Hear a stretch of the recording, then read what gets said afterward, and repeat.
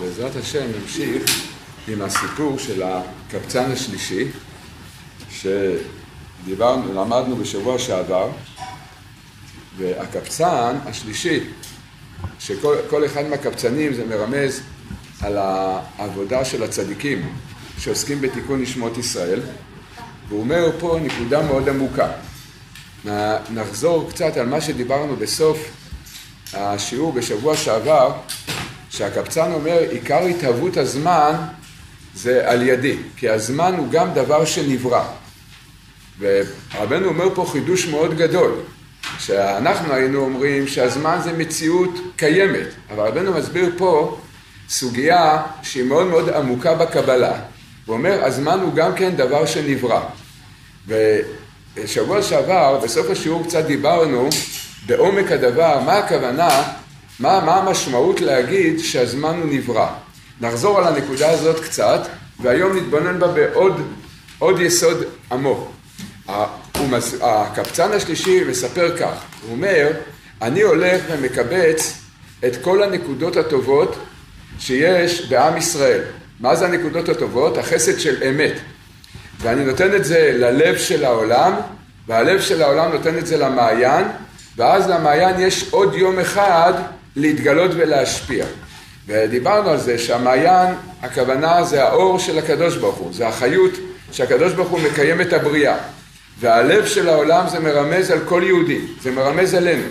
כשאנחנו מקבלים את החיות, את השמחה, את הכוחות שלנו לעשות, לפעול במחשבה, בדיבור, במעשה, הכל אנחנו מקבלים את זה בעצם מהמעיין, זה מהקדוש ברוך הוא, מהאור של השם. ואיך הקדוש ברוך הוא משפיע עלינו? הוא משפיע עלינו לפי החסד של אמת שיש בעולם. חסד של אמת זה נקרא הנקודות הטובות. מה שאדם יהודי עושה דברים טובים, פעולות טובות אה, בעולם, אז על ידי זה הוא למעשה מקיים את העולם. כביכול הקדוש ברוך הוא אומר, אם אין אמת בעולם, אם אין חסד, אין נתינה בעולם, אז אני כביכול לא מקיים את העולם. אז על ידי על ידי הנקודות הטובות, על ידי החסדים של אמת, אז על ידי זה, זה עולה למעלה למעלה, והקדוש ברוך הוא ממשיך לקיים את, ה, את העולם. בזה נלמד גם דבר פרטי לכל אחד מאיתנו, שזה על האדם, ככל שאדם יותר עוסק, בנק... מחפש את האמת ועוסק בנתינה לזולת, על ידי זה הוא ממשיך על עצמו את כל הברכות. על, לצערנו, כשאדם רחוק מהתורה, שהוא רחוק מההסתכלות של התורה, מהשכל של התורה, אז מצד הטבע של האדם, האדם לא מטבעו, הוא לא נותן. האדם מטבעו זה היצר הרע. אז האדם רק אוסף לעצמו, רק חושב איך אני מקבל. ובאמת, כל הברכה של האדם זה על ידי שאדם נותן לזולת. לכן כל מי שיכול, לכל אחד צריך לבדוק את עצמו, במה הוא יכול לתת לזולת. יש אנשים שיש להם המון, אז הם צריכים לראות איך לעשות צדקה ולעשות חסדים. לפעמים אדם אין לו ממון, אז תראה באיזשהו דבר אתה יכול, באיזה דבר אתה יכול לתת לזולת. הנתינה לזולת, פה רבנו מסביר בכלליות העולם, אבל צריך לדעת שזה גם בפרטיות אצל כל אחד מאיתנו. כפי כמה שאנחנו זוכים לתת, כך אנחנו בעצם מקיימים, מקבלים ומקיימים את המציאות שלנו. לכן חז"ל אומרים, אדם שיש לו ברכה בממון, ברכוש שלו, אה, הוא אם הוא רוצה שזה יתקיים, שיהיה ברכה והדבר יתקיים, מה יעשה אדם? יעסוק בנתינה. שיראה תמיד לתת מעצמו לזולת. ככל שאדם נותן יותר מעצמו לזולת, על ידי כך יש לו יותר ברכה בדברים שלו. וזה כלל גדול מאוד, כי באמת הברכה, זה הכל זה מהקדוש ברוך הוא, זה לא, זה לא שלנו. זה לא שאדם אה, באמת אה, הוא חכם, אומר הרב דסלר, אומרים, אדם יש לו כישרון מיוחד, לדוגמה בעסקים, לכן הוא הצליח. אומר הרב דסלר, לא, זה בדיוק הפוך. גזרו עליו בשמיים להצליח, אז נתנו לו כישרון. אז צריך לדעת, הכל זה ברכה של הקדוש ברוך הוא. כדי שהברכה תתקיים, ואדרבה, ותגדל ותרבה, אז הסוד של הדבר זה לתת לזולת. אדם שאוסף לעצמו ולא נותן, ולא מקפיד לתת לזולת, אז האדם הזה בעצם, הוא מונע את הברכה מעצמו. אבל בין, זה באופן פרטי, לגבי מהלך פרטי לכל אחד ואחד מאיתנו. אבל פה רבנו אומר, הוא מדבר על כלליות העולם. בכלליות העולם, כל ההנהגה שהקדוש ברוך הוא מנהיג את העולם, אומר רבנו זה לפי חסד של אמת. חסד זה נתינה, שתהיה נתינה אמיתית. מה זה נקרא נתינה אמיתית? נתינה אמיתית זה שאדם נותן שלא על מנת לקבל. לצערנו הרב, בתוכנו, בתוך כל אחד מאיתנו, יושב כזה נחש כזה, יצר רע כזה שיושב בתוכנו, והרבה פעמים אנחנו נותנים. אבל אם אדם יתבונן, יתבונן בעצמו, אז הוא יראה איך שכל הנתינה שלו זה בעצם אינטרס. האדם נותן במקום שהוא רואה איפה הוא יכול לקבל. אנחנו צריכים לחפש בדיוק הפוך. הרבה פעמים אדם אומר, למה שאני אתן? בלשון של היום של העולם, והאדם שנותן שלא על מנת לקבל, איך, איך אנחנו קוראים לזה? פראייר. אז זה בדיוק הפוך. זה בדיוק הפוך, שאתה נותן על שלא על מנת לקבל, בזה אתה ממשיך על עצמך את כל הברכות. לכן, לא להימנע מזה. אדם רואה, לפעמים אנחנו באים לבעיות של שלום בית, אז או הבעל או האישה אומרים, אנחנו נותנים, נותנים ולא מקבלים. אז אני אומר, זה שהבן זוג או הבת זוג צריכים ללמוד איך לנהל את הבית נכון, זה אמת. אבל אתה, שאתה נותן ואתה לא מקבל, אז תשמח מזה. תשמח, תש... בינתיים, עד שהמצב יתוקן, תשמח מזה שזה המצב. מדוע? כי כל הברכות, זה מה שרבנו אומר, שהכל הברכות זה, זה, זה הסוד שהעולם נברא, שהמעיין משפיע מהחסדים של אמת. אז קודם כל אמרנו, זה בפרטיות אצל כל אחד מאיתנו. אבל פה רבנו לא דיבר על בפרטיות, רבנו מסביר לנו עניין של כלליות העולם. העולם בכלליות הוא מונהג, והשפע, כל הברכה של הכלליות ההנהגה של עם ישראל זה, רבנו מגלה לנו את הסוד שכל יום ויום יש משפט, יש בודקים כמה חסדים של אמת נעשו בעם ישראל, לפי זה הקדוש ברוך הוא מנהיג את העולם. לפי הנקודות אמת של הנתינה שלנו, ככה המעיין מקבל עוד יום, ועל ידי זה בעצם העולם מתקיים. ואם חס ושלום, זה, רבנו אומר את זה בלקוטי מוהר"ן, אם חס ושלום היה חסר היום נתינה אמיתית, מה קורה? וחסר נתינה אמיתית בכלליות עם ישראל, לא בפרטיות, בכלליות עם ישראל, מה קורה? אז רבנו אומר בלקוטי מוהר"ן, על ידי זה באה שפיכות דמים על עם ישראל. מדוע? כי זה, יש בזה סוד בקבלה, שח... שגוי הורג יהודי, אז על ידי זה נעשה כמו, במקום החסד של אמת. זה מחליף את החסד של אמת. אבל אנחנו ודאי לא רוצים ש... שנגיע לזה. מספיק כבר עם ישראל סבל בכל הדורות, מספיק סבלנו, אז אנחנו צריכים להשתדל לעסוק בחסד של אמת. זה צד אחד להתבונן ולהבין את הדברים. שבוע שעבר דיברנו, בסוף השיעור דיברנו שיש עוד הסתכלות על הדבר, נחזור על זה ונעמיק את ההסתכלות הזאת. אמר, הסברנו שיש יסוד מאוד גדול, המקור של הדברים זה בזוהר הקדוש, והרבה הרבה מאוד בכתבי רבנו הארי הקדוש ותלמידי רבנו הארי. מה שאנחנו עכשיו אה, נגיד. רבנו הארי מסביר הסתכלות על סדר העבודה של האדם בעולם הזה, הוא מלמד אותנו איזושהי הסתכלות עמוקה ופנימית. והקדוש ברוך הוא בשעה שהוא ברא את העולם, הקדוש ברוך הוא זרע זרעים בכל המציאות, כל המציאות שלנו. אין שום פרט במציאות שאין בו את הזרע של הקדוש ברוך הוא. מה הכוונה, הזרע של הקדוש ברוך הוא? בכל דבר ודבר במציאות יש אור אלוקי. בחסידות הרבה פעמים מציינים את המושג הזה בשם ניצוצות קדושה. ניצוצות קדושה זה האור של הקדוש ברוך הוא שנמצא בכל דבר ודבר. העבודה שלנו, הקדוש ברוך הוא שלח אותנו לעולם הזה לעבודה. בדרך ההסתכלות של הקבלה, איך, איך, אנחנו, איך אנחנו מסתכלים על העבודה שלנו? שאנחנו במשך היום יום, במשך החיים שלנו, אז אנחנו נפגשים בכל מיני דברים. אוכלים, שומעים מוזיקה, רואים נופים, באים במגע עם, עם בני אדם, לפעמים זה עבודה, מסחר וכן הלאה. כל דבר ודבר שקורה לנו ביום יום. בכל מצב ומצב יש את הניצוץ הקדושה של, של, של אותו מקום. על ידי שאנחנו מחברים את המציאות שבה אנחנו נמצאים. וזה שאנחנו מחברים את זה עם הקדוש ברוך הוא, עם האמונה, עם התורה, על ידי זה אנחנו מתקנים את, את אותו ניצוץ שיש בדבר הזה. וניתן דוגמה לדבר.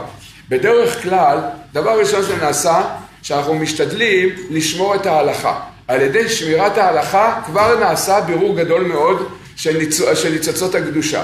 לדוגמה, אדם עוסק במשא ומתן. הוא סוחר, אולי יש לו עסק, או הוא עובד. יש הלכות, יש הלכות שמלמדים אותנו למעשה איך לעשות את העבודה, איך להתנהג בשעת העבודה, איך... אה, אם עושים משא ומתן, מה זה נקרא משא ומתן על פי התורה? יש תחום שלם בתורה, בשולחן ערוך, בעולם ההלכות שלנו, שמלמדים אותנו למעשה איך לעשות משא ומתן, איך לעשות מסחר, איך לפתוח עסק וכן הלאה. אנחנו לא עושים מה שאנחנו רוצים. אנחנו למעשה משועבד, משועבדים לתורה, מה שהתורה אומרת לנו, מה שהתורה מלמדת אותנו, ככה אנחנו צריכים לעשות. ברגע שאדם זוכה לעשות את העסק שלו, את המסחר, את העבודה שלו, על פי ההלכה, על פי התורה, בעצם העובדה שהוא עושה את זה על פי התורה, הוא כבר עושה בזה בירור ניצוצות מאוד מאוד גדול. כי בכל עסק שאדם עושה, יש שם ניצוצות קדושה. כי אמרנו בכל העולם יש את הניצוצות הקדושה. ברגע שאדם עושה את זה על פי התורה, בזה הוא מברר את הניצוצות הקדושה. יש בזה, יש בזה שאלה גדולה מאוד. כי הרבה פעמים אדם מרגיש, אנחנו כולנו מרגישים, מי שיצא לו להתקל בזה, נראה לו שזה היה, היה איזה שאלה, היה פה איזה שאלה, ועל פי התורה נראה לו שקרה פה משהו לא צודק. אבל צריך לדעת, אם אפילו, זה, אפילו שנראה בעיניו שמשהו לא צודק, אבל זה היה על פי התורה, אז צריך לדעת שיש פה צדק שאתה לא יודע מהו הצדק. מה הכוונה? כי לפעמים יש דברים בחיים שלנו, יש דברים נסתרים שאנחנו לא, שאנחנו לא יודעים אותם, אבל לא יודעים לעשות את החשבון שלהם. לדוגמה, ראובן ושמעון באו לדין תורה. ראובן, בא ראובן ושמעון, שמעון אמר, תשמע, ראובן חייב לי כסף. לפי האמת, באמת ראובן שחייב לו כסף. באמת זה נכון, אבל שמעון צריך להביא ראייה שראובן חייב לו כסף. צריך להביא שטר או עדים. ראובן, שמעון, שהלווה את הכסף לראובן, לא, לא עשה את החשבון הזה, לא הקפיד שיהיו עדים, לא הקפיד שיהיה שטר, באים לדין תורה. ראובן מכחיש, אני לא חייב לו כסף. ראובן משקר, הוא כן חייב לו כסף, הוא לא משקר. שמעון אין לו ראייה. מה יפסקו בדין תורה?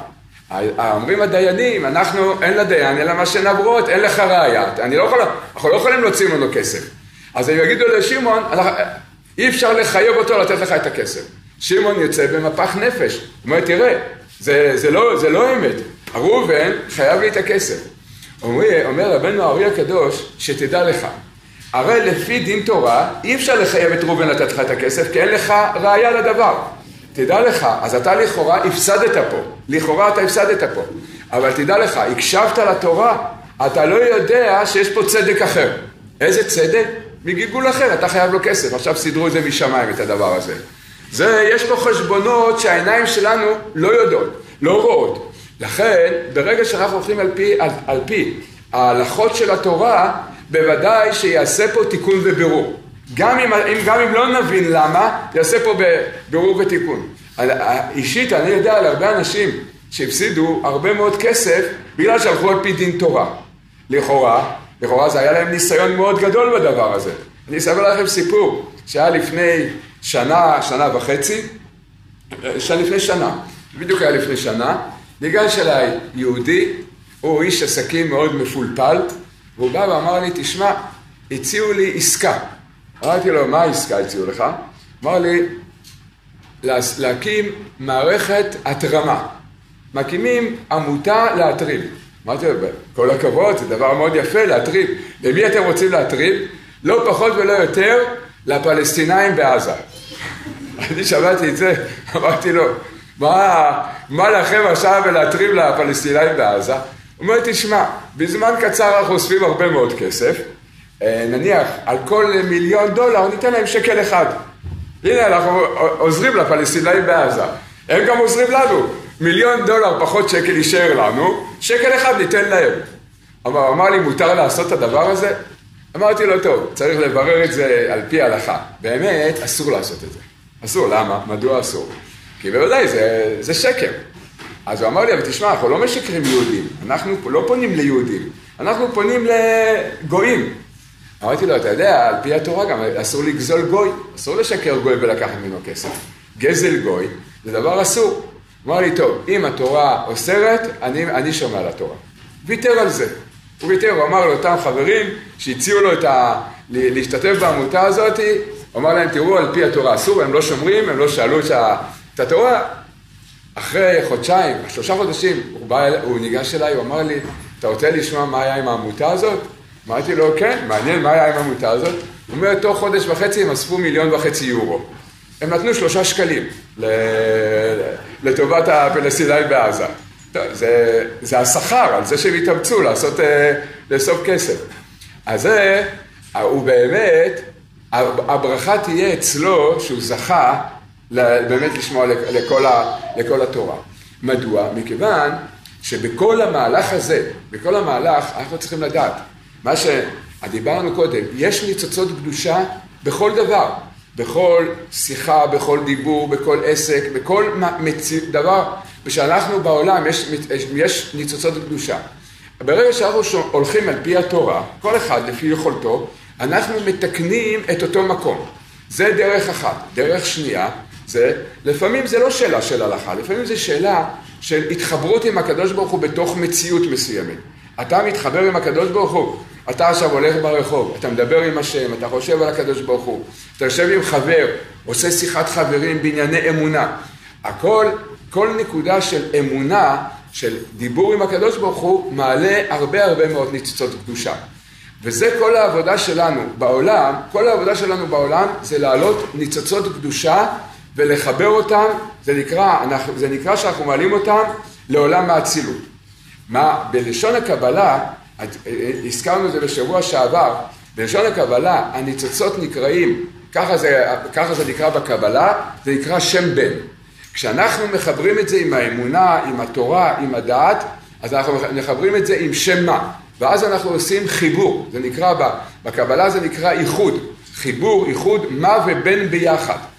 לפי העלאת כל יום ויום, לפי איך שאנחנו מעלילים, מעלים את הניצוצות של שם בן של היום הזה, אז על ידי זה נעשה חיבור עם השם מה, מה אז נעשה איחוד מה ובן, על ידי זה נברא היום הבא. מה זאת אומרת נברא היום הבא? כל ההנהגה, השפע, החסדים שירדו לעולם, זה הכל לפי העבודה שלנו בלהעלות את מה ובן. לכן, כמו שאמרנו בשבוע שעבר, שמה ובן ביחד, הגימטריה, הגימטריה זה, זה, בקבלה זה, לומדים הרבה דברים. מה, מה זה 45? בן זה 52, ביחד זה 97, זה גימטריה זמן. כי ההתהוות של הזמן, הבריאה של הזמן, זה כפי העבודה שלנו, כפי העבודה שלנו לחבר את המה ואת הבן ביחד. עד כאן דיברנו בשבוע שעבר. עכשיו נוסיף על זה עוד דבר, עוד בחינה. אומר, מגלה לנו רבנו הארי הקדוש, שמבריאת העולם נפלו הרבה הרבה מאוד ניצוצות של שם בן לעולם. לפי מהות הנפילה של הניצוצות, כך היא ההנהגה של העולם. מה הכוונה? מה הכוונה? אם נגיד את זה בדרך של משל, דרך ציורית.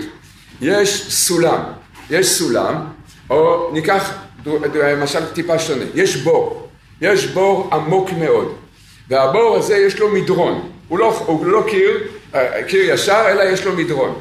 בבריאת העולם נפלו ניצוצות של שם בן לכל אורך המדרון עד הקרקעית, הבור עמוק.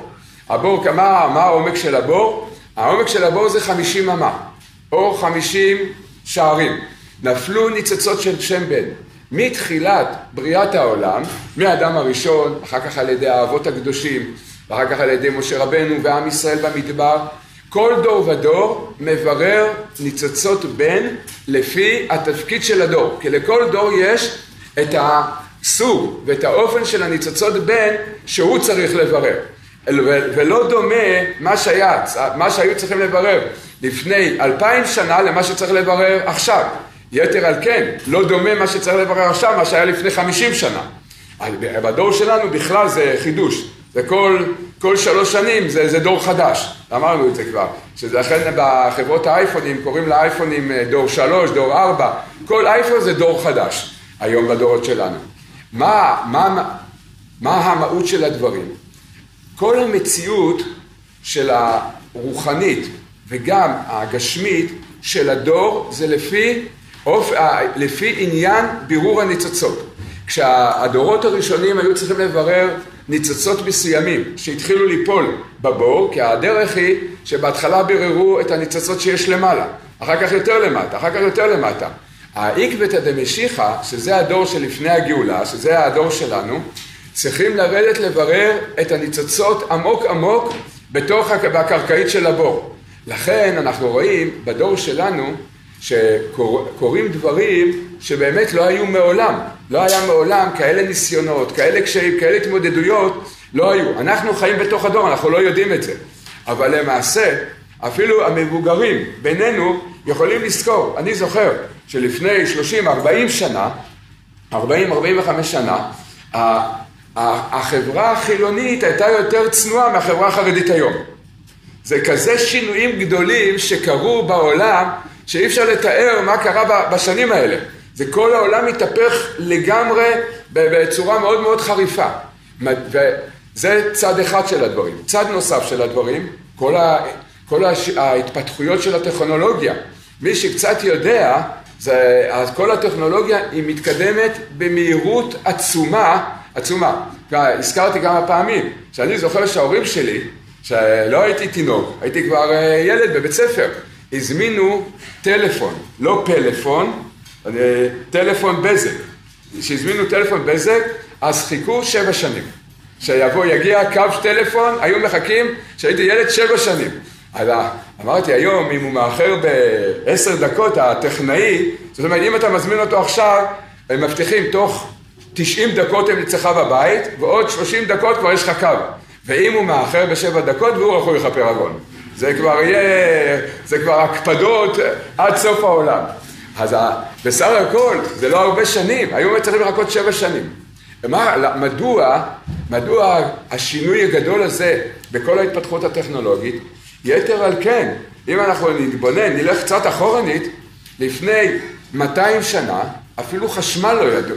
כל העולם, לא היה חשמל בכל העולם. אנחנו כל כך רגילים היום למציאות החשמל. אנחנו לא מדברים על חלליות, לייזרים.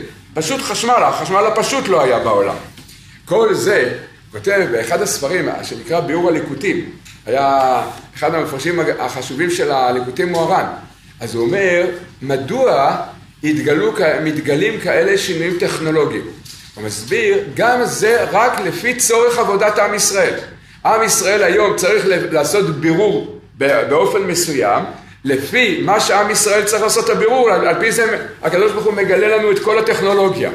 היום בדור שלנו הכל צריך להיות, אנחנו צריכים לרדת עמוק מאוד וגם לברר, לברר את הדברים במהירות עצומה, אין זמן. הקדוש ברוך הוא רוצה להביא את הגאולה, כל הבירורים צריכים להיות מהר מאוד.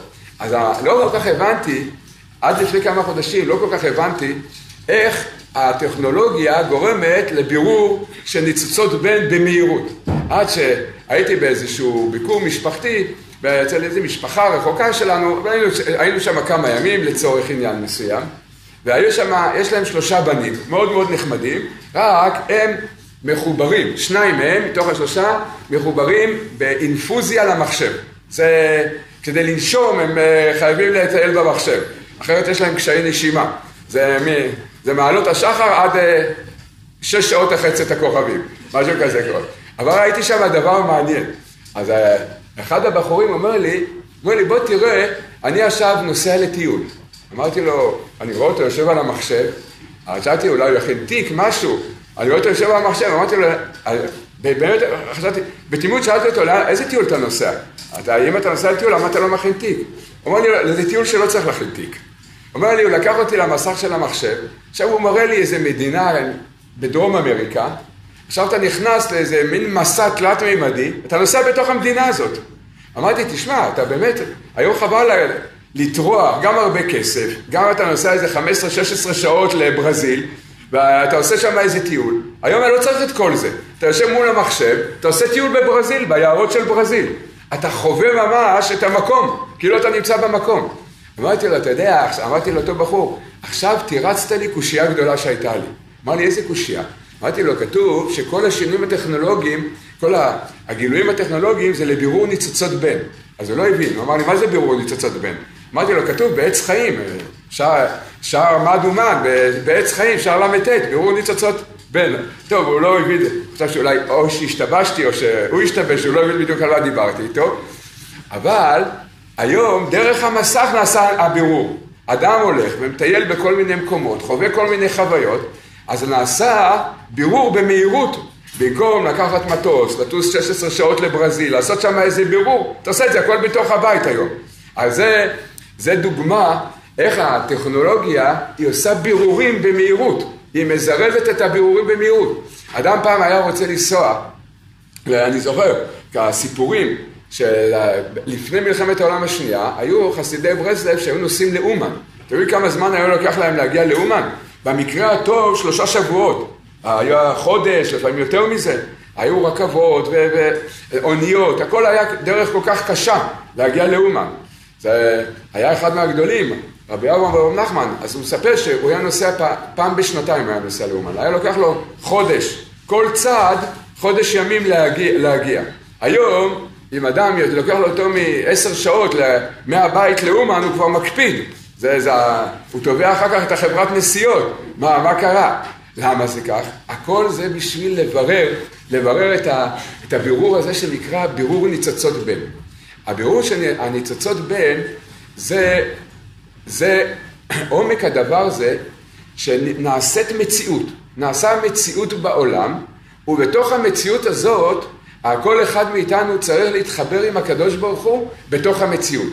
עכשיו, לפני שנים, לפני חמישים, מאה שנה, מה זה להתחבר עם הזה? אדם היה נוסע על העגלה, היה נוסע שש שעות על העגלה, תוך כדי זה אף אחד לא מלחיץ אותו, לא משגעים אותו, אין לו מס הכנסה, אין לו פלאפונים, יש לו רק שמש, ציפורים ועצים ופרפרים, ואז הוא מדבר עם הקדוש ברוך הוא.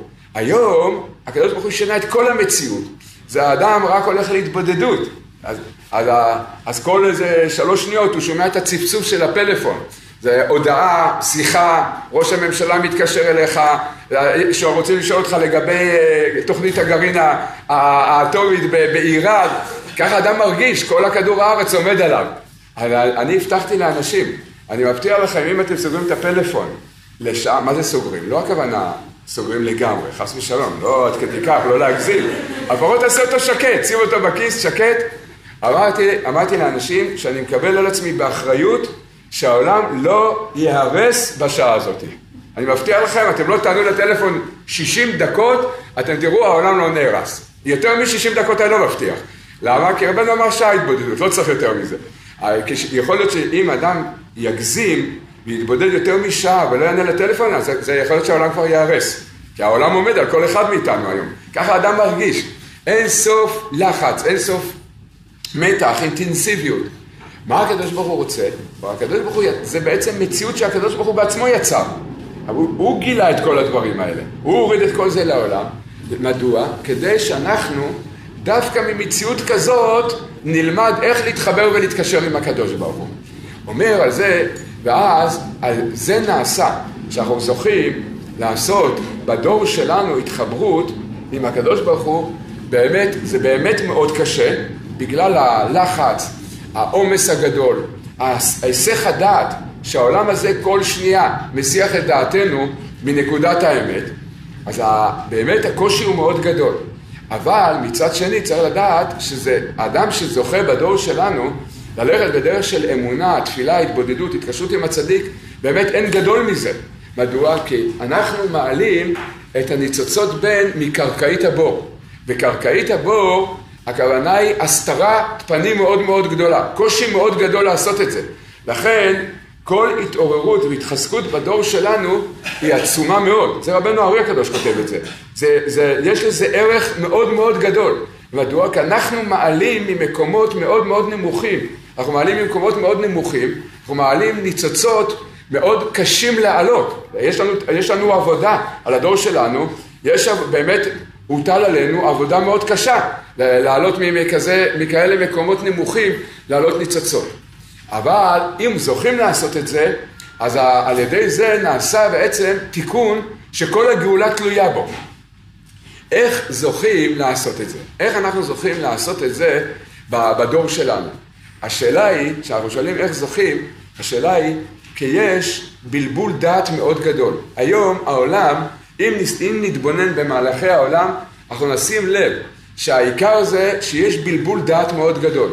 העולם, אם לא מחוברים עם הצדיק ועם התורה, אם זוכים להתחבר עם התורה ועם הצדיק, ברוך השם, זה מאיר. אבל אם נשים לב, אדם שלא מחובר עם הצדיק ועם התורה, הוא ממש לא יודע איפה צד ימין, איפה צד שמאל, לא יודע מה טוב, מה רע, קורא אל השקר, עושה מהשקר אלילי האמת, מה, מהרע עושה אותו פסגת הטוב, הכל מתבלבל. הטוב, אנשים מסכנים, כבר לא יודעים מה טוב, מה רע, מה האמת ומה שקר. זה כל הסיפור עכשיו שהיה בשבועות האחרונים, כל הסיפור הזה של מצעד הגאווה. אז מי, ש, מי שנכשל בזה ונפל בזה, מסכן, צריך להתפלל עליו, הוא מסכן. אבל להפוך את זה, זה ממש הפכו את זה לתרבות, הפכו את זה לאלילות. זה השקר הגדול של הדבר. זה השקר הגדול, יצא לי לשמוע, יצא לי לשמוע ב... אולי ארבע, חמש שניות, לא, לא יותר מארבע, חמש שניות, איזה, בתוך מהדורת חדשות. עד שסגרו את, את המכשיר, אז היה, שמעתי משהו. ראיתי שאני שומע מהם איזה, איזה, איזה התלהבות, איזה התפעלות. לקחו בעצם דבר שזה בעצם מחלה. אדם חולה, בסדר, צריך אה, שהשם ישלח לו רפואה שלמה, מסכן. אבל לקחת בעצם את המחלות הכי נמוכות, הכי שפלות, לעשות מזה פסגת האמת. זה הבלבול הדעת הגדול שיש בעולם. לא יודעים, אבל מחוץ ל... אם אדם לא קשור עם התורה ועם הצדיק, הופך שקר לאמת, הופך טוב לרע, רע לטוב, הכל מבולבל לגמרי. מדוע? מדוע זה כך?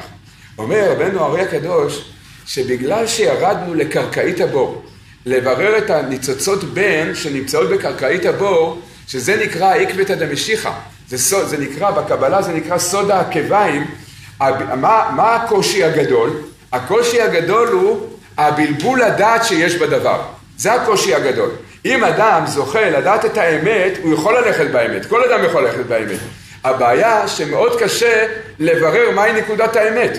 באים לך אנשים, יש להם עניבה מאוד יפה, יש להם שלוש תוארים של פרופסור, עוד שש תוארים של דוקטור, והם כבר בני חמישים או שישים, וטוב, נו, זה מרשים, בכל אופן, הוא, תשמע, הוא פרופסור, הוא דוקטור, הוא... וכן הלאה, ולא יודעים שבעצם הוא מדבר את השטויות הכי גדולות בעולם, בבלבול הדעת הכי גדול בעולם. הקושי הגדול, זה נקודה מאוד חשובה, הקושי הגדול זה בירור הדעת, להבין מה אמת, מה שקר, מה טוב ומה רע. זה, זה, זה הניסיון הגדול. ברוך השם, שזכינו קצת לדעת מה, מהתורה ומרבנו ומהצדיק, הם עוזרים לנו לראות בכל הערפל הגדול הזה, לראות את הנתיב של האמת, להבין באמת מה, מהי הדרך האמיתית.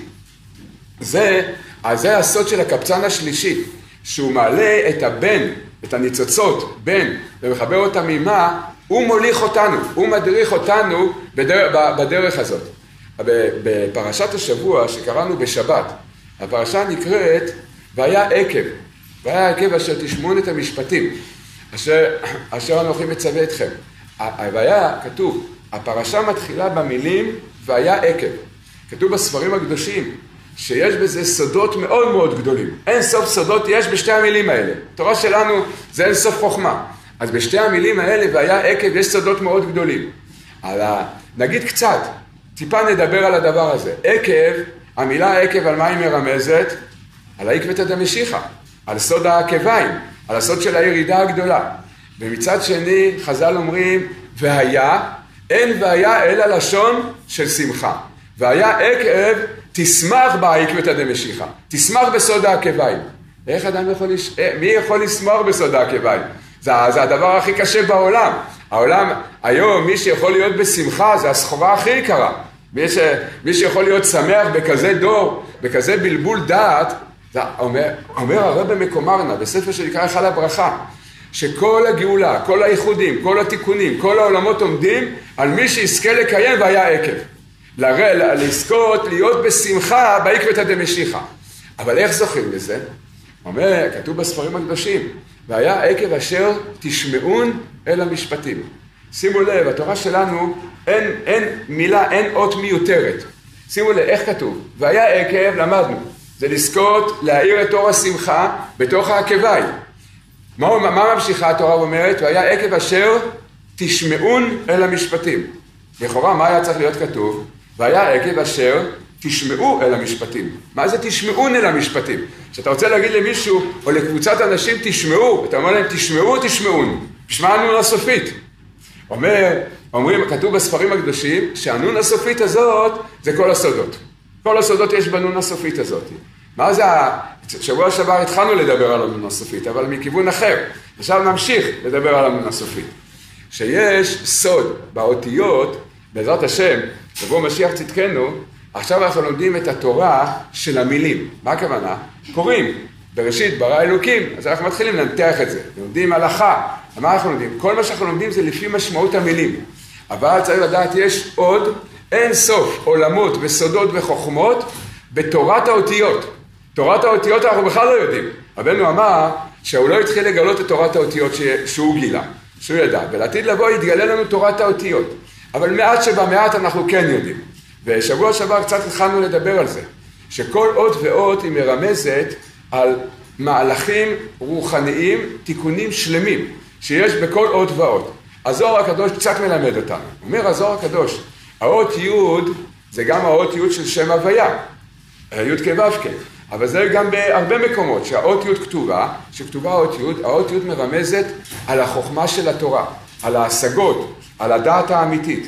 אבל כשזה, היא נעלמת מאיתנו, אז היא קטנה, היא רחוקה מאיתנו, לכן האות י' היא קטנה. לרמז על הזמן שהחוכמה נעלמת מאיתנו. כל הצדיקים שבכל הדורות, משה רבנו, רבי שמעון בר יוחאי, ועוד, ועוד הצדיקים, מה הם רצו תמיד לעזור לנו, לגלות לנו את התורה. משה קיבל תורה מסיני ומסרה ליהושע. משה קיבל את התורה לא רק בשביל עצמו, הוא קיבל את התורה בשביל כל עם ישראל, לכל הדורות. הצדיק מגלה לנו את התורה. כשהוא מגלה לנו את התורה, אם נגיד את זה בדרך האותיות, אז אנחנו נגיד שהצדיק הפך את האות י' לאות ו'. זה הזוהר הקדוש אומר. לכן ו' זה י' אריכתא, י' ארוכה. מה הכוונה? אנחנו מעריכים את הרגל של היוד, שמי להפוך אותה לו'. מה זה אומר? מה זה הסוד של הדבר, החוכמה שיש בדבר?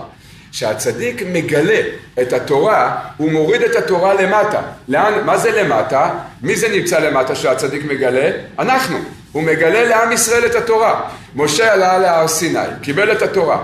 כשהוא קיבל את התורה, כלפינו התורה הייתה מבחינת האות י', נעלמת, לא ידענו את התורה. עם ישראל לא ידע את התורה. משה ירד, אומרת הגמרא, שמשה רבנו התחיל ללמד את עם ישראל את התורה. בזה שהוא לימד את התורה, הוא גילה לעם ישראל את התורה. ואז הוא הופך את האות י' לאות ו'. זה הכוונה, שהוא מעריך את הרגל, הוא ממשיך שפע של חוכמה ודעת של התורה לעם ישראל. ואז, ואז שהוא ממשיך את השפע הזה, עם ישראל מתחיל ללמוד תורה. אבל מה קורה שבדור שלנו, אמרנו זה תחתית הבור. תחתית הבור זה השער, למה אמרנו שהעומק של הבור הוא חמישים אמה. חמישים אמה, כל אמה זה שער טומאה. זה עוד לרדת ועוד לרדת, ירדנו, הדור שלנו כבר ירד, זה נקרא, ירד מתחת לשורה. מה זה מתחת לשורה? ירד למקום לא נורמלי. בפשטות נגיד לא נורמלי, הכל הפוך, מה שאמרנו קודם, הכל בלבול דעת עצום ונורא. כשיורדים לכזה מקום, התורה כפי שהיא לא יכולה לעזור לנו. מדוע? כי זה לא מדבר אלינו. היום, כשאדם ירד לאן שירד, עבר מה שעבר, עבר מסיבות טבע, עבר אה, חלליות, יש היום כל אחד נוסע בחלליות לכל מיני מקומות, יש הרבה חלליות, הרבה סוגים של חלליות, ויש הרבה בחינות בדבר הזה. אדם נסע לכל מיני מקומות. כשאדם עובר את כל המעברים האלה, שזה כמעט כל הדור שלנו, כל אחד לפי בחינתו, זה נקרא שכבר ירדנו לחשיכה נפשית, לחשיכה רוחנית מאוד מאוד גדולה. לכן אנחנו נקראים כבר לא בעולם הנורמלי, אנחנו כבר ירדנו מתחת לעולם הנורמלי. מכיוון שירדנו מתחת לעולם הנורמלי, זה נקרא קרקעית הבור, זה נקרא עקבתא דמשיחא, לכן היום בדור שלנו, בהתחלה על כל פנים, בשלבים הראשונים, גם אחר כך, אבל בפרט בשלבים הראשונים, התורה כפי שהיא לא מדברת אלינו. היום אם אדם ייגש לרשות השידור ויציע להעביר שיעור בהלכה לכל השדרנים שם, מפיקי התוכניות וזה. טוב, נניח, נניח שיקרה כזה מצב דמיוני והם יסכימו. ועכשיו הוא יתחיל להסביר להם, נניח הלכה, אה, יתחיל, הוא יגיד, אני אתחיל כמו רבי יהודה הנשיא. ניקח את ההלכה הראשונה שכתוב במשנה במסכת ברכות. ממתי קוראים את שמע בערבית? בשעה שהכוהנים נכנסים לאכול בתרומתם. אז לא את המילים אתה צריך להסביר להם, את האותיות אתה צריך להסביר להם. הם לא יודעים מה זה קריאת שמע, מה זה כהנים, מה זה תרומה, שום דבר לא יודעים. הדברים לא מדברים. התורה, כפי שהיא, היא לא מדברת אל האדם בשעה שהוא ירד למקומות כאלה נמוכים. לכן, המסביר רבנו ארי הקדוש, היו צריכים להיות צדיקים מאוד גדולים, רבנו כותב את כל זה, את היסוד הזה, בתורה ס' בליקוטי מוהר"ן, שהיו צריכים להמשיך את התורה עמוק עמוק למטה למטה. מתחת לשורה, מתחת לעומק העקבתא דמשיחא, שזה קרקעית הבור, לחמישים שערי טומאה, לתוך חושר גדול מאוד. אומר, שם רבנו מסביר יסוד מאוד גדול, בתורה ס', מסביר יסוד מאוד גדול. הוא אומר, מבריאת העולם, אם הקדוש ברוך הוא כבר קבע את כל מה שצריך לעבור, כלומר, ברגע שיש מקום שיהודי ירד אליו, אז אומר, גם רבנו ארי, גם רבנו מביא את זה בתורה ס', בוודאי תדע לך, יש שם תורה. חייב להיות תורה. אם אין שם, מה זה תורה? אור. אור של השם, אור של חוכמה, אור של דעת, שיכול להאיר לאדם היהודי שנפל למקום הזה. רק התורה הזאת היא תורה מאוד מאוד נעלמת, היא מאוד מאוד נסתרת. וזה העבודה של הצדיקים, היה להעריך את הוו לנון סופית, לא, לא, לא, להוריד אותה למטה למטה לקרקעית הבור. זה נקרא, רבנו, רבנו אומר שזה נקרא סודות התורה. רבנו מספר בנסיעה לארץ ישראל של רבנו, שנסע לארץ ישראל, אז רבנו אומר, אמר בלשון הזאת, הוא אומר באמת הייתי יכול לפעול את כל ההשגות ש... ש... שקניתי בארץ ישראל, הייתי יכול לפעול את זה גם בחו"ל על ידי ריבוי של תפילה ותחנונים. אבל רבנו אומר בלשון הזאת, הוא אומר, אבל מלבוש, לעשות מלבושים לתורה, זה לא הייתי יכול, רק על ידי הנסיעה לארץ ישראל. ואז רבנו שהגיע לארץ ישראל מיד פעל את הפעולה הזאת. ככה רבנו העיד שהוא מיד פעל את הפעולה הזאת. מה זה המלבושים? המלבושים זה הנון הסופית. זה להוריד את התורה בשבילנו. בשביל כל הנשמות שנופלות למקום הנמוך הזה של העקבתא דמשיחא, שזה קרקעית הבור, שזה השער החמישים, רבנו, כל הנסיעה של רבנו לארץ ישראל זה היה כדי להמשיך אלינו. אז זה להמשיך את האות ו'. אמרנו קודם י' נמשך לו', עכשיו צריך להמשיך את הו' להיות נ' סופית, לרדת מתחת לשורה. ולכן זה מרמז על התורה שמתגלית עמוק עמוק בעקבתא דמשיחא. עכשיו נחזור למה ששאלנו. והיה עקב אשר תשמעון. מה זה אשר? לפי זה נבין מה התורה אומרת. אמרנו, והיה עקב זה סוד הייחוד של בעקבתא דמשיחא. להמשיך אור של והיה, ואין והיה אלא לשון של שמחה, אל לאן? לעקביים, בעקב. איך נזכה לעשות את זה? והיה עקב אשר תשמעון. תשמעו את התורה של הנון הסופית. כשאנחנו שומעים את התורה של הנון הסופית, שזה התורה של הצדיקי אמת, אז אנחנו יכולים לקיים והיה עקב. והתורה הזאת, זה התורה של הצדיק, שמלמדת אותנו איך להחזיק מעמד, איך לעבור את כל הבירורים, את כל הבירורים שלפני הגאולה. לכן צריך לדעת שאם אנחנו זוכים לשמוע, לקיים, אשר תשמעון, תשמעו את הנון הסופית, אז אנחנו יכולים לעבור בשלום את כל מה שאנחנו צריכים לעבור. אם לא נשמע את הנון הסופית, לנו, אנחנו לא נוכל לעבור את זה. מדוע? כי לא נבין, הנקודה היא שלא נבין מה רוצים מאיתנו. זה, הרבה דברים משתנים, כמו, כמו שדיברנו קודם, שבירידת הדורות, בבירור שצריכים לעשות, דברים משתנים. כשאנחנו יורדים, אז גם ההסתכלות שלנו, השכל, ההבנה, היא גם משתנית לפי המקום שאליו אנחנו יורדים. לכן הרבה פעמים שואלים מספרים שנכתבו לפני 200 שנה, 300 שנה, שלכאורה רואים שהצדיקים שבדורות שלנו מדברים אחרת, זה לא קושייה. אלו ואלו דברי אלוקים חיים, אבל לדורות ההם זה מה שהיה מתאים, לדורות שלנו כבר צריכים דברים אחרים לגמרי. וזה יש הרבה דוגמאות לדבר. ולכן ההתקרבות שלנו אל הצדיק זה אחד הנקודות הראשונות, היסודות הראשונים זה להבין מה רוצים איתנו, איך אנחנו מתמודדים בצורה נכונה עם המציאות היומיומית שקורית לנו. ניתן כמה, קצת נפתח את הנושא הזה מה, מה בעצם רוצים מאיתנו. דבר ראשון, צריך לזכור יסוד מאוד גדול. אמרנו לפני כמה ימים אמרתי למישהו שאני ממליץ לו, מציע לו, הוא חיפש פרנסה, אמרתי לו תפתח חנות אופטיקה באומן. אמר לי, חנות אופטיקה באומן? אמרתי לו כן, כי בכל ראש השנה כל האנשים שמגיעים, בעזרת השם, שנה שעברה הגיעו 40 אלף, ואנחנו מקווים השנה 80 אלף יגיעו, אז, אז צריך להחליף 80 אלף אנשים, צריכים משקפיים חדשים. כי בשביל זה נוסעים לאומן. נוסעים לאומן בשביל לקבל משקפיים חדשים. מה הכוונה משקפיים חדשים? להסתכל על כל המציאות שלנו בהסתכלות אחרת לגמרי.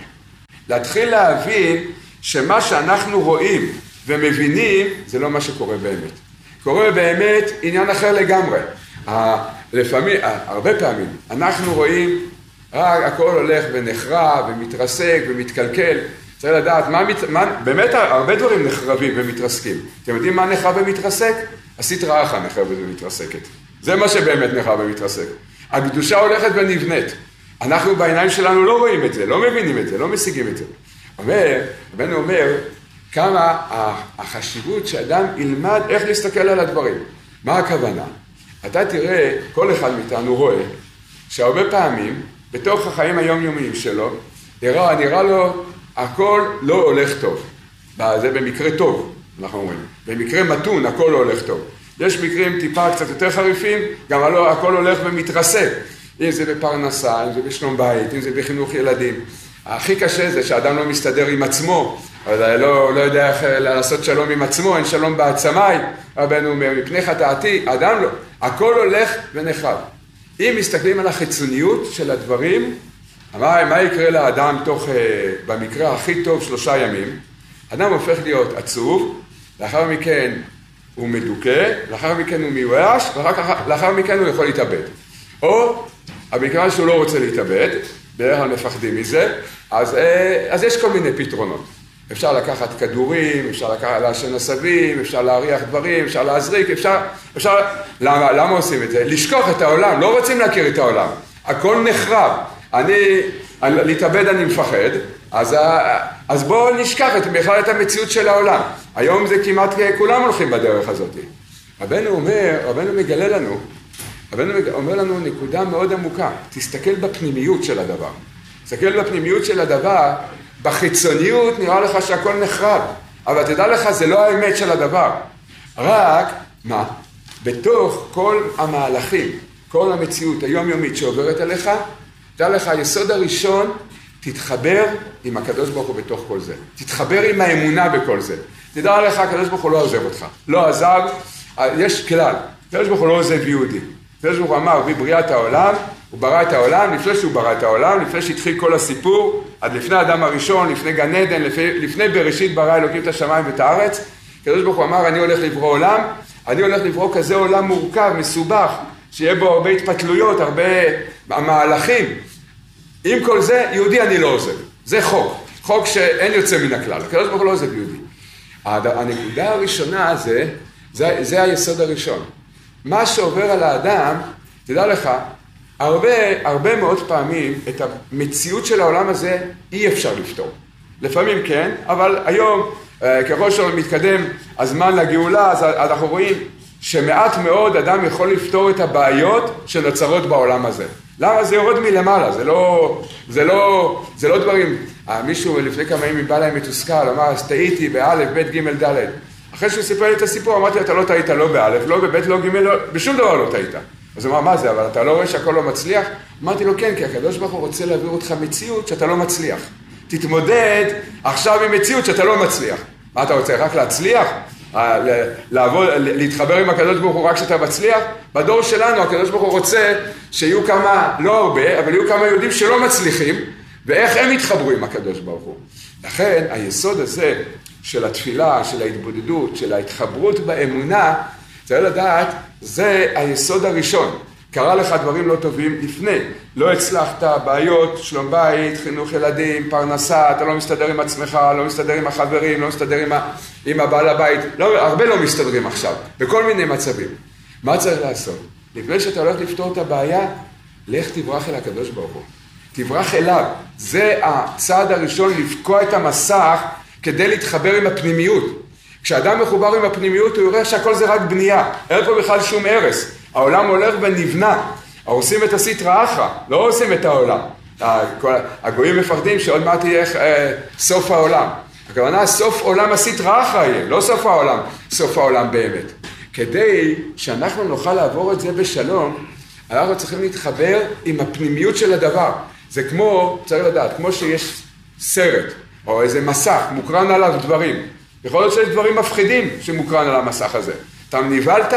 קח סכין, תלך על המסך, תקרא אותו ותיכנס פנימה. תראה, זה רק מסך, זה רק דמיונות. איך עושים את זה?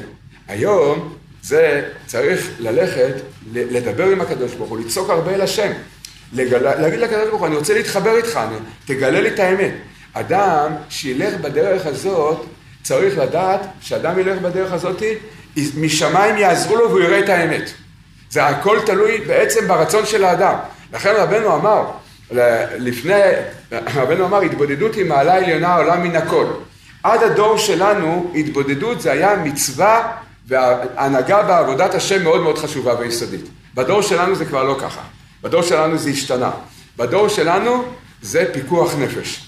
מי שרוצה לשרוד ולהיות שפוי בדור שלנו, צריך, צריך לדעת, למצוא את הרגעים, למצוא דקות, למצוא שעה, בשדה, לא משנה איפה, בלילה, ביום, איפה שאתה יכול. תברח אל השם, תדבר עם הקדוש ברוך הוא. תחפש את הדרך להתחבר איתו.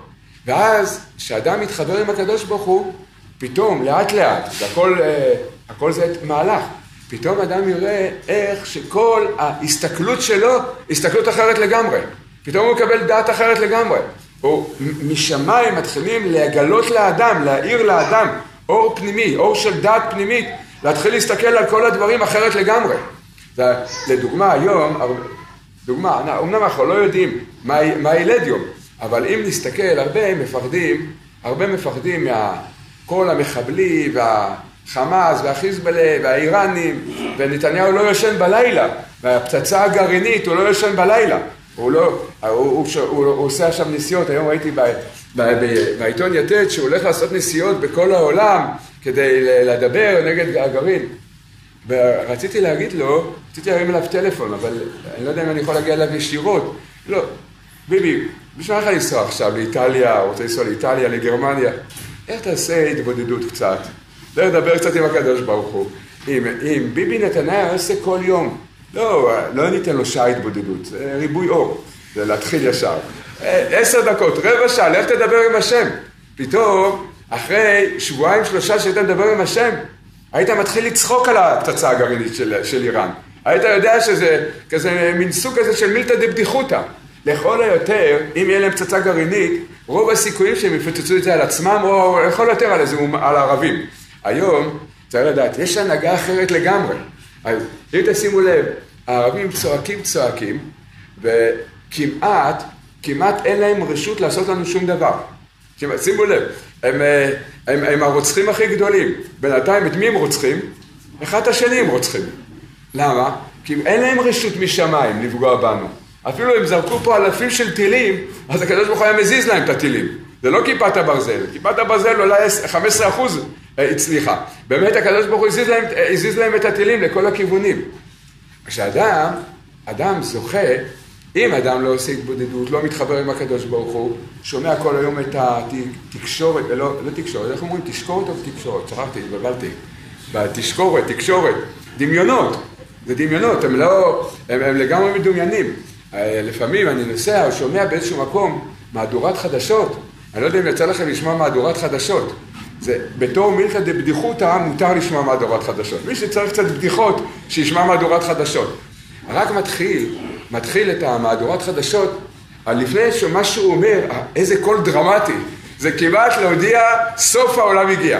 הוא פותח לך רשימה של הודעות, פיגועים, רציחות, טייפונים, פצצת אטום בדרך. קודם כל הוא מחריד את הלבבות, תהיו כולכם חרדים, עצובים, מדוכאים, סוף העולם הולך להגיע. גם אם יש לו איזו ידיעה טובה, הוא בסוף, איזה 40 שניות בסוף, הוא מודיע איזו ידיעה טובה גם בקול שקט כזה. כי אין עניין להודיע ידיעות טובות. יש עניין לדכא, להפחיד. אז למה, למה אנחנו אומרים זה מלכי דבדיחות? האדם שהולך להתבודד, הולך לדבר עם הקדוש ברוך הוא, לא יודע, הם מדומיינים לגמרי. זה הכל, זה הכל רק הפחדות, זה הכל כאילו. זה הנקודה, זה הנון הסופית. זה אשר תשמעון, תשמעו אל הנון הסופית של הצדיק, לא לתקשורת. זה, זה הכל, הם מסכנים, הקדוש ברוך הוא יעזור להם לחזור בתשובה. אבל בינתיים הם מדומיינים לגמרי. בכלל לא, לא יודעים מה, מה, מה הם מדברים ומה הם חושבים. אז אנחנו צריכים, כל העולם זה מסך. על ידי ההתקשרות עם הצדיק, על ידי התפילה, על ידי ההתבודדות, אדם בוקע את המסך הזה ונכנס פנימה. מתחיל להכיר, אדם הולך להתבודד, אז הוא מתחיל להבין שיש מלך לעולם, ואין תנועה בעולם שזה לב מלכים ורוזנים ביד השם. אז אם, כל מנהיג אומר איזה משהו, זה הקדוש ברוך הוא אומר. למה הקדוש ברוך הוא עושה את זה? כתוב בספרים הקדושים, זה הכל כדי שיהיה מסך כזה, ושאנחנו נעבוד את הקדוש ברוך הוא באופן כזה שנבקע את המסך הזה. נראה, נראה את המגוחך שבכל הדבר הזה. זה הכל, זה הכל כאילו, הכל זה רק קורה כאילו. אז, זה העבודה של התפילה, ההתבודדות. שההתקשרות עם הצדיק זה הנקודה הראשונה של הדעת. לכן, כשנוסעים לאומן צריך לעשות הזמנת משקפיים. מה זאת אומרת? אנחנו קונים משקפיים חדשות להסתכל על העולם. זה משקפיים של הדעת. זה להתחיל להסתכל על הדברים בדרך אחרת לגמרי. זה נקודה ראשונה. זה הנקודה הראשונה. נקודה שנייה, ב- ב- לשמוע בנון הסופית,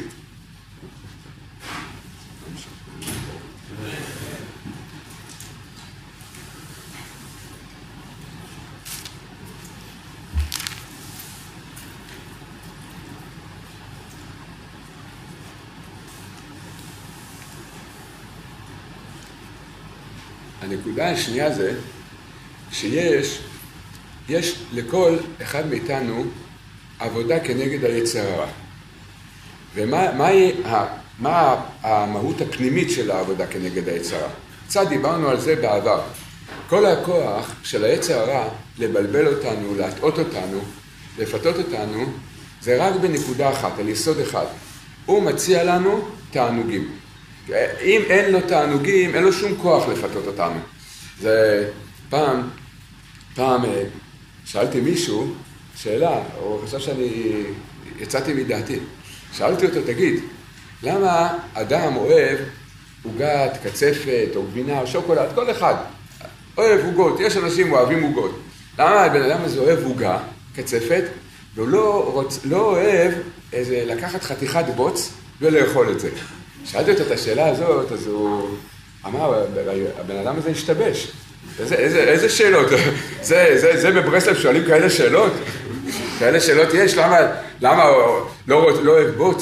אבל באמת, השאלה היא מצחיקה, אבל התשובה לא. איזו הבנה עמוקה.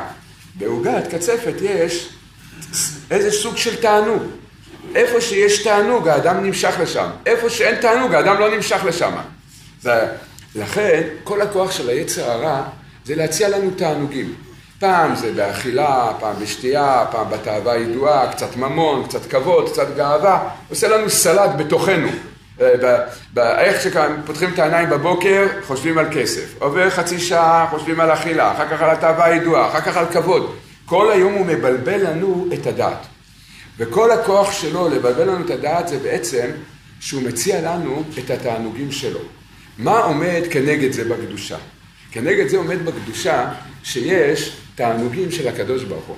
אז תתענג על השם והרכיביתיך על במטה ארץ.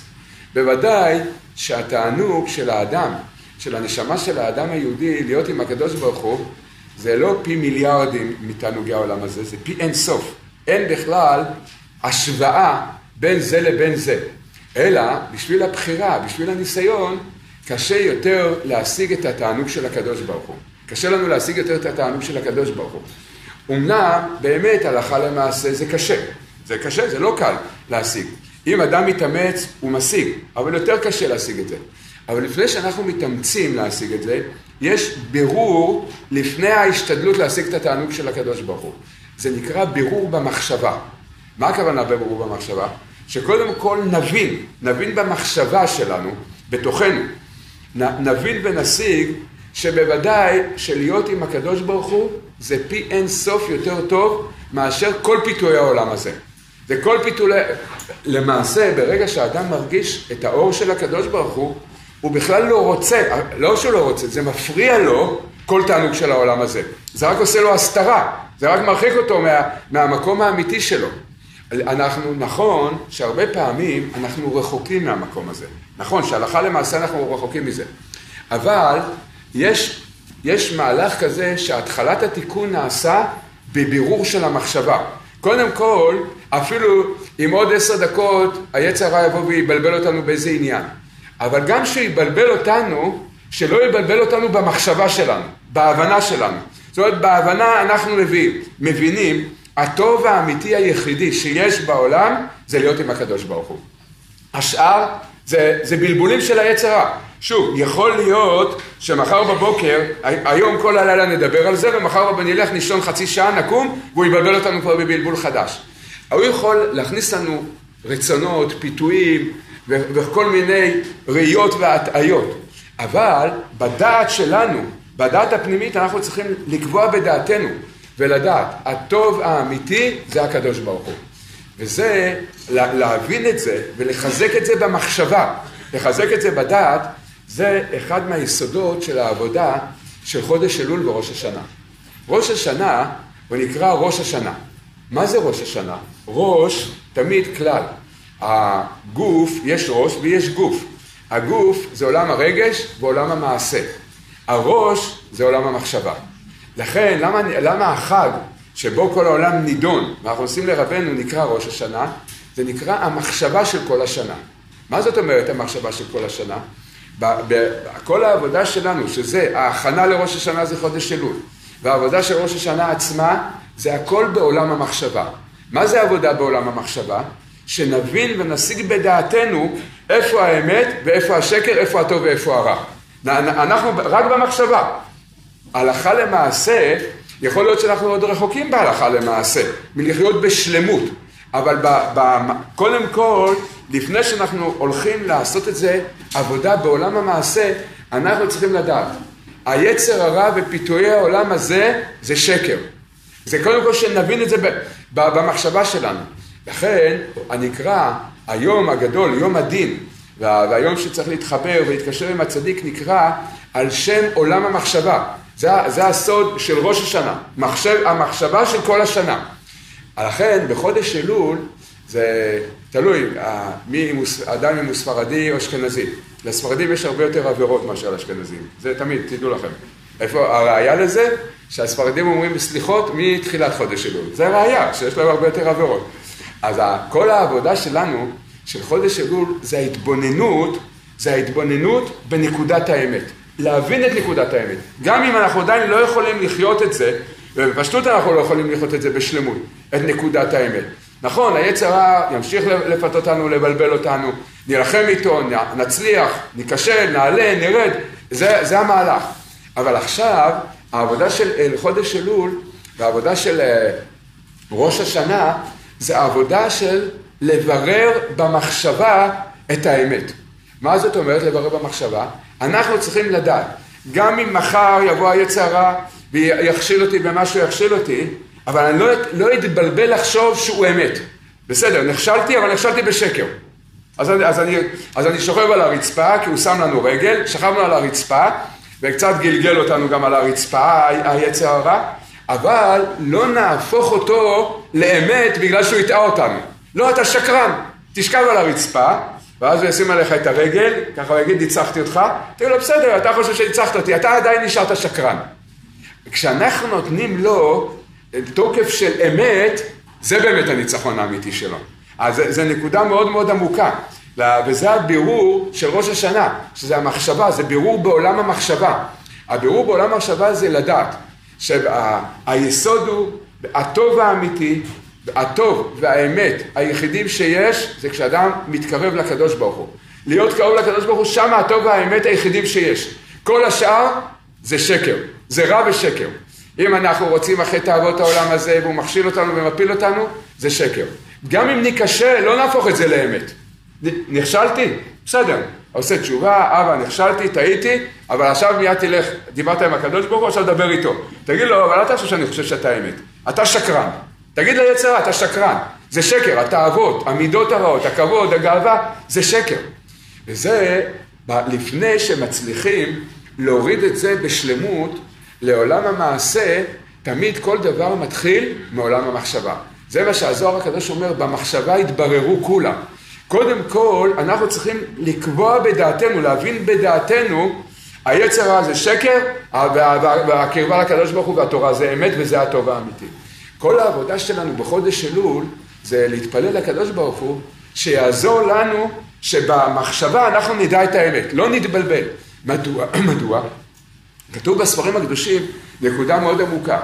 מדוע היצר הרע יכול לבלבל אותנו ולהטות אותנו? כי עדיין לא ביררנו במחשבה שלנו שהוא שקרן גמור.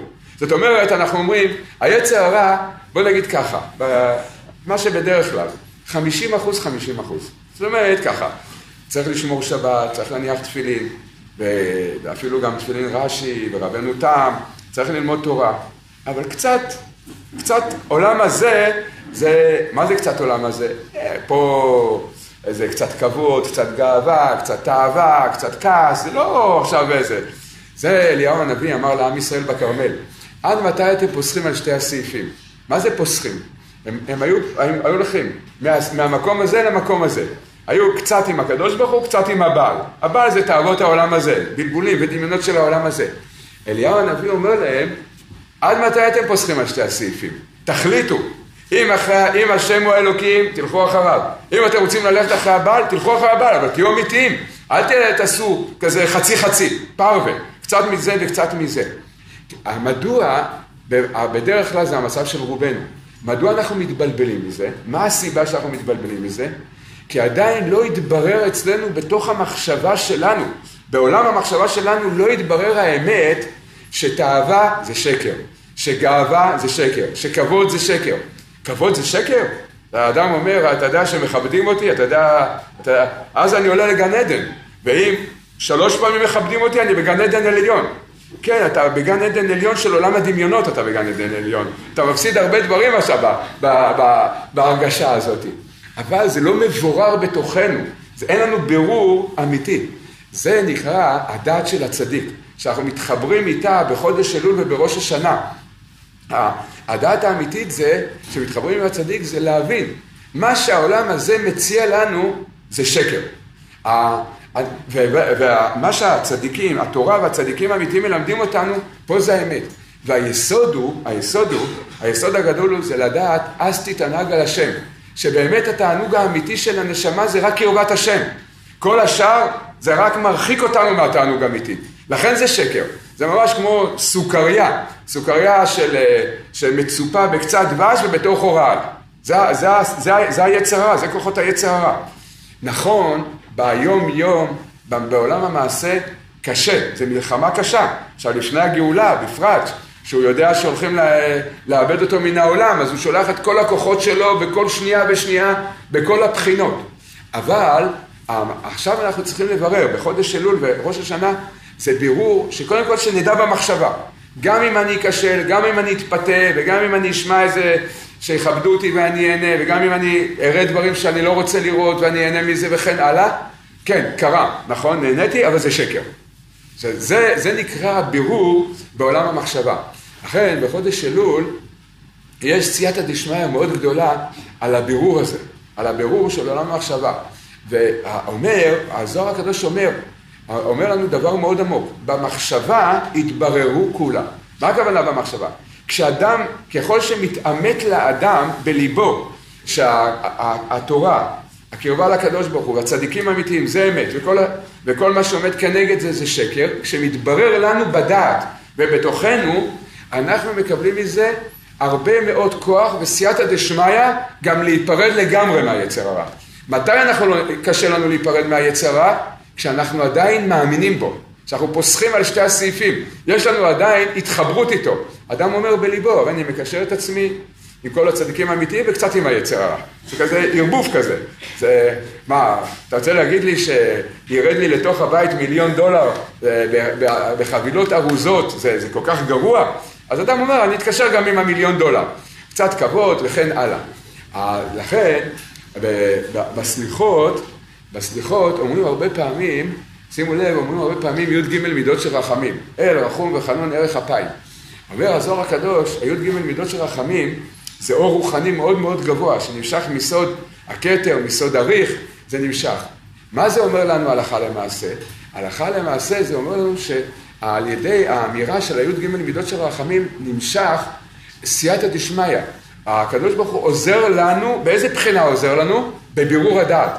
כל העניין של הי"ג מידות של רחמים זה שיתברר ויתעמת בליבנו, שיתברר ויתעמת בליבנו שרק רק הקרבה לקדוש ברוך הוא, לתורה ולצדיקים, שמה זה, שמה זה האמת.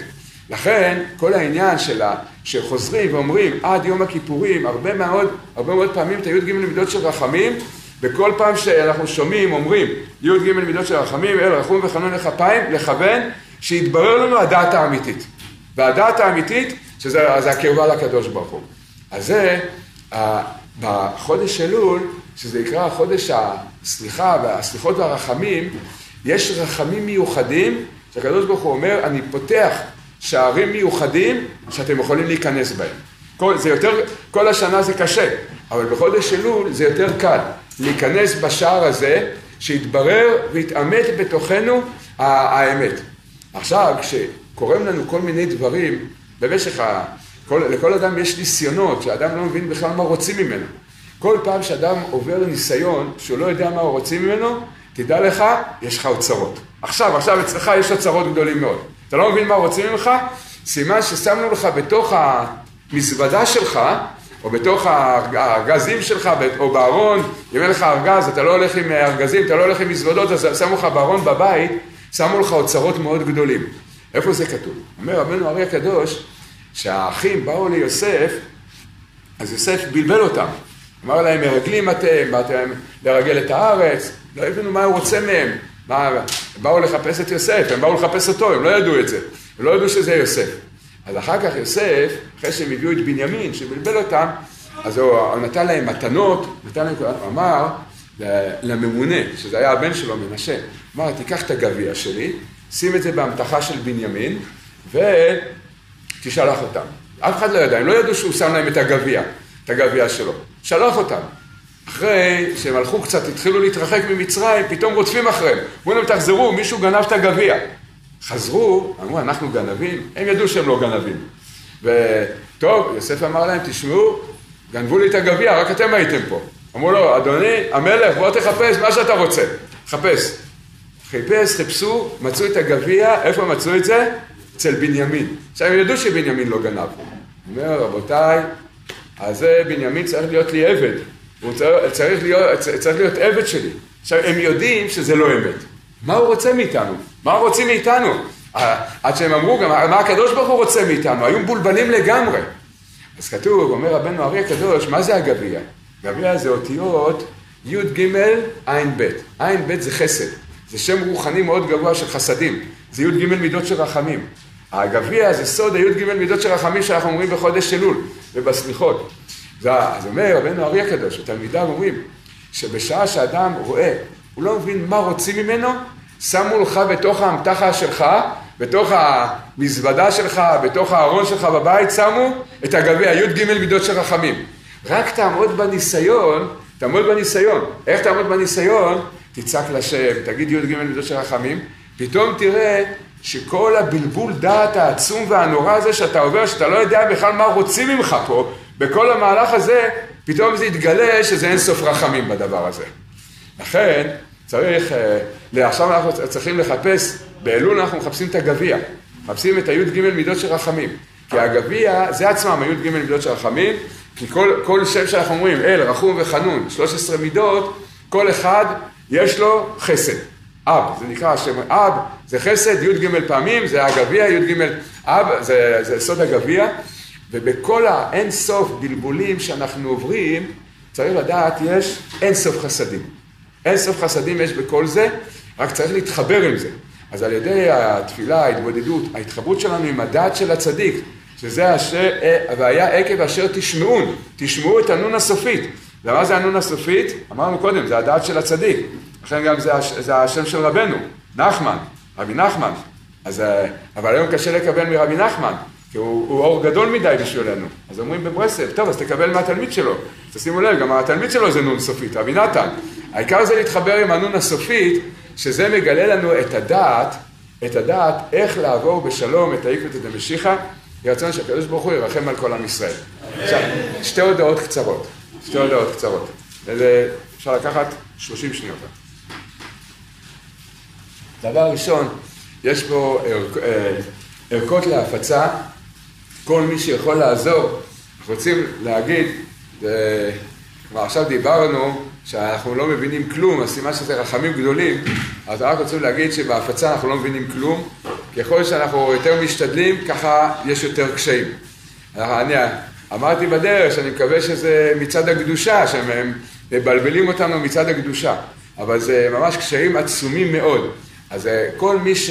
אני אומר את זה באופן כללי, כל מי שיודע שיש לו איזה עצה, דרך לעזור, תבוא עליו הברכה, אפשר לגשת לדוד ולראות איך לעזור. הדרך השנייה זה לקחת, אה, לקחת ערכות ולהפיץ, ואנחנו, ממש אני רוצה להגיד, שככל שאנחנו רואים שההפצה הולכת וגדלה, כנגד זה גם הקשיים הולכים וגדלים. אני מקווה שליצר הרע לא כל כך ניחא בהפצה הזאת, ככה אני מקווה שזה, שזה הסיבה האמיתית, לא כל כך ניחא לו בדבר הזה, אז, אה, אז הוא מוסר את הנפש. אם זה הוא, אז הוא עושה פה מסירות נפש אה, עצומה על הדבר הזה. כי עד כדי כך שממש זו שאלה שיכול להיות ש... איך, דיברנו בדרך, שאולי עוד כמה זמן לא נוכל, עוד כמה זמן בשבועות הקרובים לא נוכל להדפיס דיסקים. פשוט אין, אין אה, דרך. זה אין, ממש אין סוף קשיים לא טבעיים, זה לא, כבר ראינו שאין בזה טבע. לכן, כל מי שיכול לקחת ערכות להפיץ, מי שיכול לחשוב על איך שדרכים לעזור, זה בעיקר רק עוד קצת ממון, זה לא מדובר אפילו בסכומים גדולים, אבל אה, גם זה קשה. אז כל מי שיכול, שידע שזה אה, מצווה מאוד מאוד גדולה. פשוט להמשיך להעביר לעוד יהודים, לעוד אנשים, שנוכל להמשיך להפיץ את הדיסקים ואת הספרים וכן הלאה. אז מי שיכול לעזור בזה, שיגשו לדוד. זה דבר ראשון. דבר שני, זה בראש השנה, באומן, אז אנחנו ארגנו אוהל, שאנחנו אוכלים כולנו ביחד באוהל, וכמו שאמרנו, בשנים קודמות, ברוך השם, היה שם שמחה גדולה והתעוררות גדולה מאוד, ששרים ביחד, שעות של שירים וניגונים ביחד. אז אה, מי שרוצה להירשם, יכול, אני, אני, אני אגיד את המספר טלפון פעם נוספת.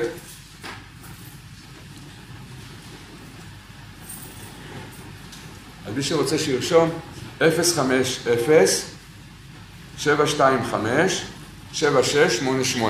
נתן. מי שרוצה להירשם לזה, זה לפי המספר טלפון הזה. אה? אה, לא, השבוע לא, לא קבענו השבוע. אני מקווה שנעשה לפני ראש השנה עוד תפילה, בעזרת השם במערה. בשבוע הבא אנחנו נקדים את השיעור.